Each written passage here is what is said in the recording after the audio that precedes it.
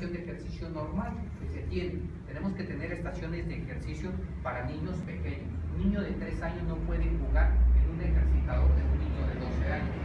Un adulto mayor no puede hacer uso de, un aparato para hacer ejercicio que un niño o que otra persona. Es por eso que debemos de ver todos los sectores de la sociedad y cubrir las necesidades de todos de todas las personas. Todos los mexicanos sabemos que el crecimiento de la población ya no está siendo como antes era. Antes todos tenían 10, 12, 9, 8 hijos. Ahora ya está muy reducido. Ya ni siquiera en 4. El, factor va hacia acá. Nos vamos, nos vamos a volver en unos años una, eh, un país con, con mayores, mayor cantidad de adultos mayores. Vamos a tener que empezar a pensar esto. Esto es un proyecto a largo plazo, este es un proyecto integral. Se tuvo que hacer esto y empezar a revisar todas las condicionantes, dónde sí puede ir una ciclopista, dónde no puede ir una ciclopista, y se tiene que empezar por etapas, se tiene que, empezar a hacer en esa situación. En esa situación llegamos a la condición actual de la intervención de dos espacios por parte del gobierno municipal. El primer espacio es la calle Fermín J. Villalós, Está la escuela secundaria, el lienzo charro, la alameda, toda la serie de servicios. Tenemos las explanadas, el atrio, la plaza Hidalgo, el museo, tenemos el callejón Lire, tenemos eh, la iglesia del Señor del Huerto. Este es un espacio que va a intervenir el municipio y este es un espacio que va a intervenir el municipio. ¿Cuál es el cambio que va a sufrir? ¿Cuál es? Eh, el calle, la calle Fermín J. Villaluz lo que se está proponiendo, actualmente si vemos cuántos, cuántos cajones o cuántos carriles son los que funcionan, en realidad para, para dar vialidad es un carril. El otro carril básicamente son parquímetros y estacionamiento. ¿Cuál es la idea?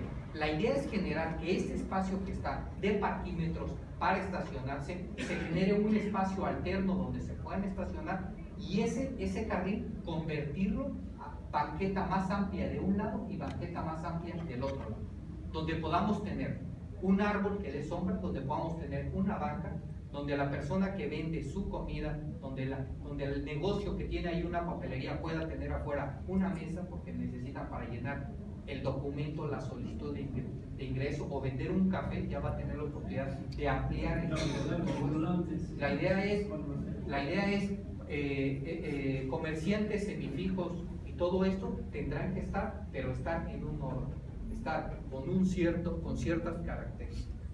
En ese sentido, vamos a lograr unir todos estos espacios públicos.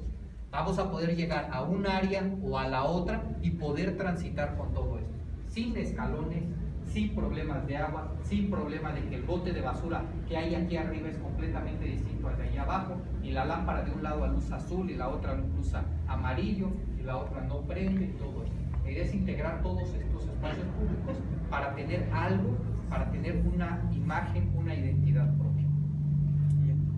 Esto es un poco de lo que se va a utilizar. Ese era el planteamiento inicial se empezó a revisar. Muchos de ustedes con los que platicamos dijeron, a ver, se te está pasando algo. Yo tengo mi negocio ahí y tengo el problema de que utilizo cosas o tengo que tener que descargar cosas.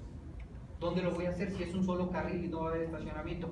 Se empezaron a instalar bahías para poder estacionarse, para estacionamiento de no más de 15 minutos, bajar cosas, subir cosas, se van a poner horarios de descarga. Si yo voy con una persona a la que solo voy, voy a pasar, a dejar o pasar por ella, de orillas se sube la persona y pasa, el carril va a estar abierto a la circulación para eh, los servicios de emergencia o para los vehículos que van a transitar ahí.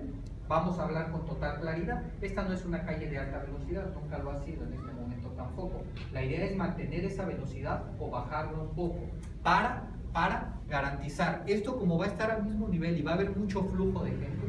Todos ustedes conocen las horas de salida de las escuelas. Realmente la cantidad de jóvenes que yo veo es grande, ¿no? Se vuelven ríos de jóvenes y se vuelven peligroso a la hora de la salida. Todas las banquetas son completamente insuficientes, generamos un riesgo para ellos también. Los negocios no pueden funcionar porque la gente sigue caminando o se quedan platicando afuera y todo. La idea es brindar el espacio, un espacio más amplio donde puedan, donde puedan.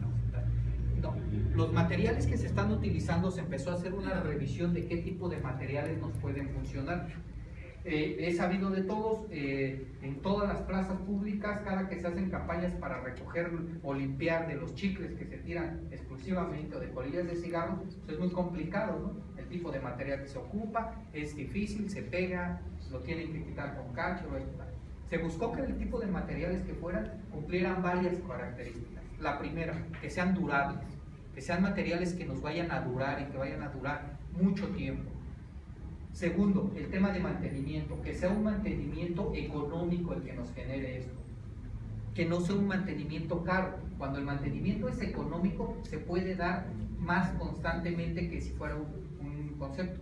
Y tercero es que empecemos a generar una identidad.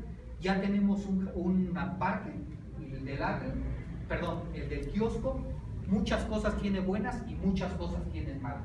¿Cuál fue la idea? preguntarle a la persona a donde ibas a comer, a la que te encuentras en la banqueta, ¿qué te gusta de ese parque? No está todo bien feo. Ah, ok. A ver, les decía, a ver, algo. No, dicen, ah, pero ¿saben qué? Yo lo vi un día en la noche donde estaban prendidas las luces, estaban prendidos los borbollones y me gustó. Se ve muy bien. Ah, exacto. ¿Qué le gustó? A las plantas que pusieron en tal jardinera me gustan esas plantas. El tipo de piso me gustó. Esto no me gustó. Esto quítelo, eso no, no está bien. Se empezó a nutrir el proyecto. Empezó, se empezó a hacer. Desafortunadamente, esta plaza y varias ¿Ya sabe usted cómo le dicen a la plaza? Sí, están los jardines con flores. Sí, estamos. Allí, la gente allí echa la basura en las flores. Ya dicen que es el panteón y las tumbas. Exacto. Que es, las banquitas donde nos nos Los arbolitos que estaban donde están. Atlacomulco está al revés, discúlpeme las banquetas horribles, archadas. permítame, precisamente este tipo de proyectos viene a eso. Permítame. ¿El estacionamiento va a ser gratis? Permítame. Si no, si no conocemos el proyecto. Ahora, ¿el tema cuál es? ¿El tema cuál es? Empezamos a ver una serie de condicionantes que había.